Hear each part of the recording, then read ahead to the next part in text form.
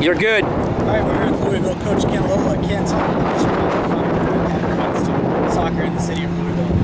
Well, I think the association is wonderful because uh, Chicago has proven themselves as one of the, the best programs, one of the best clubs in the MLS. And what they've also done now is reached out into the community, not just locally in Illinois, but around the country. And with that, what they've done is extended a hand to help youth development. Um, they have a model that they feel very strong about, and what they've done is use that model in helping not only Chicago, but Indiana, and now Kentucky, Mississippi, even Florida from a standpoint of growing youth development. And their association with us here locally is going to help us tremendously because of their resources, uh, the people involved, but also the model they've created.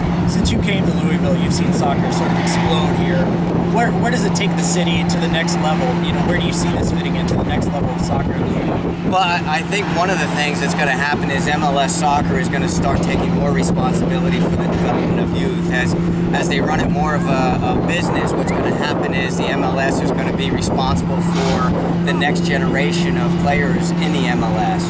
Right now, it's U.S. Soccer that's taking care of that in the Academy League. But what's going to happen is the MLS is going to, the more money that they put into the resources of it, they're going to be responsible. And as that happens, to be associated with an MLS club from a youth development standpoint is going to be huge for the city of Louisville and the development of kids here.